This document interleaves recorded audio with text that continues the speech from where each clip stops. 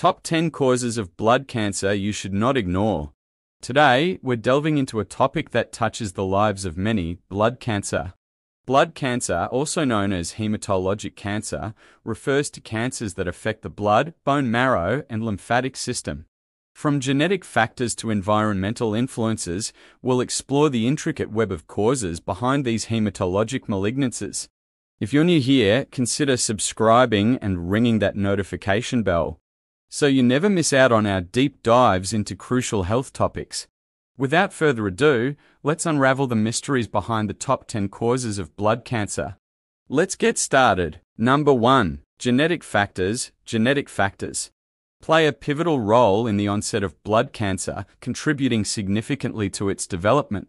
Inherited genetic mutations, passed down through families, can heighten susceptibility, to certain types of blood cancers like leukemia, lymphoma, and myeloma. These mutations may disrupt the normal functioning of blood cells, leading to uncontrolled growth and malignancy. Understanding and identifying these genetic predispositions is crucial for assessing an individual's risk and implementing targeted preventive measures. Genetic counseling and testing can provide valuable insights, assisting in early detection and personalized management strategies for those with an elevated familial risk of blood cancer.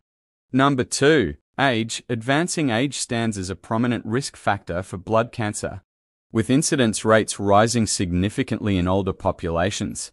While hematologic malignancies can affect individuals of all ages, the risk escalates as cells undergo cumulative genetic alterations over time, the aging process may compromise the body's ability to regulate cell division and repair DNA damage, fostering an environment conducive to the development of blood cancers such as leukemia, lymphoma, and myeloma. Vigilant monitoring and awareness of age-related risk factors become crucial, emphasizing the importance of regular health checkups, especially for those in the higher age brackets to facilitate early detection and intervention.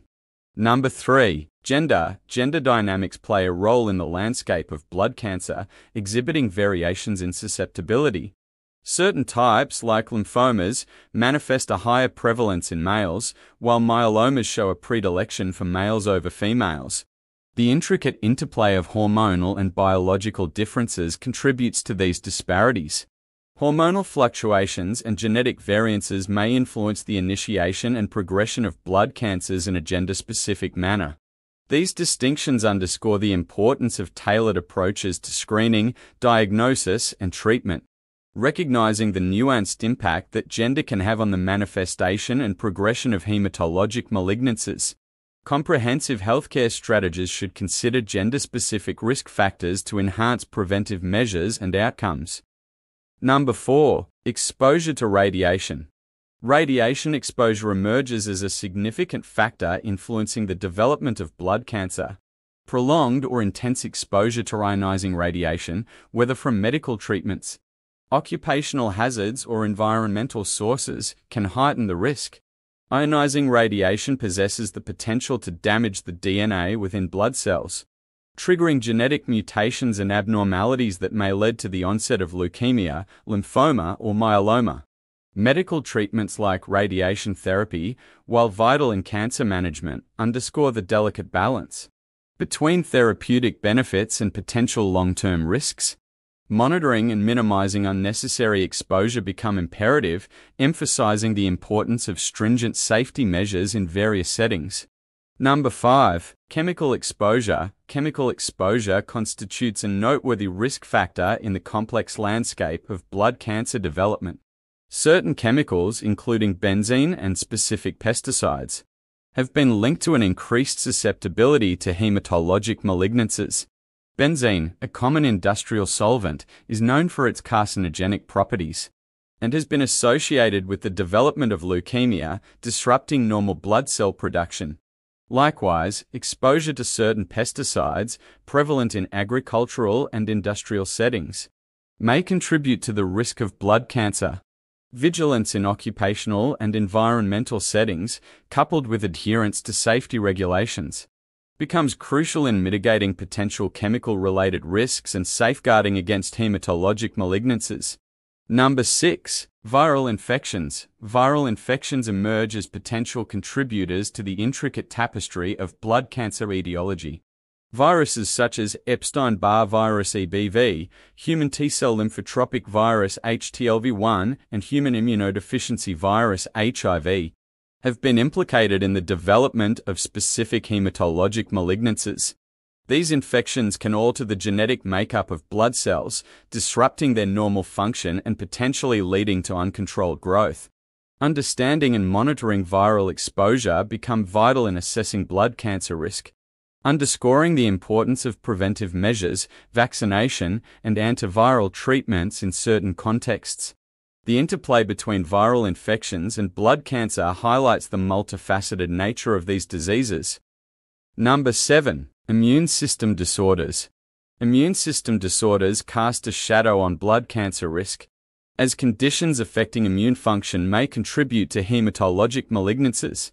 Autoimmune diseases and immune deficiencies compromise the body's ability to regulate and defend against abnormal cell growth, potentially fostering an environment conducive to blood cancer development.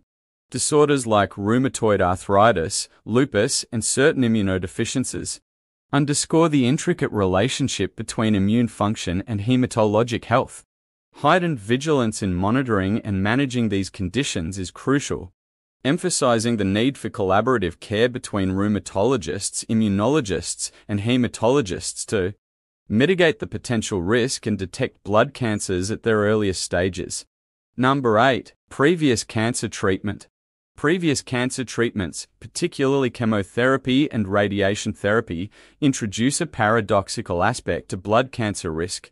While these treatments aim to combat cancer, they may inadvertently contribute to the development of secondary hematologic malignancies. The DNA altering effects of these therapies on healthy cells can lead to genetic mutations, potentially triggering leukemia or myelodysplastic syndromes.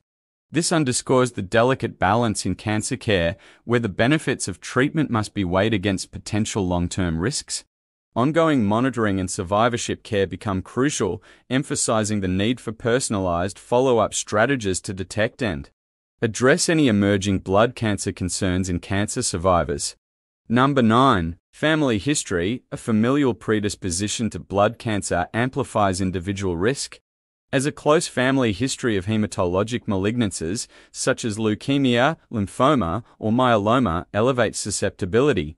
Shared genetic factors among family members may contribute to the clustering of these diseases.